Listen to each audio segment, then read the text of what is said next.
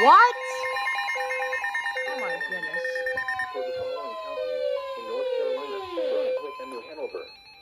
The National Weather Service in Wilmington has issued a flash flood warning for northeastern Brunswick County in southeastern North Carolina, Oh, shoot. northwestern New Hanover County in southeastern North No Carolina. wonder it was actually flooding. At 8:50 a.m., Doppler radar indicated thunderstorms producing heavy rain across the warned area. Flash flooding is ongoing or expected to begin shortly. Hazard: flash flooding caused by thunderstorms. Source: radar. Impact: flash flooding of small creeks and streams, urban areas, highways, streets, and underpasses, as well as other poor drainage and low-lying areas.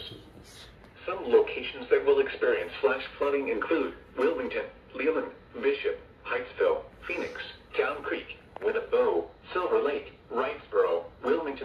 International Airport, University of North Carolina at Wilmington, Kings Grant, Murrayville, Ogden, Belville, Navassa, and New Hanover Regional Medical Center.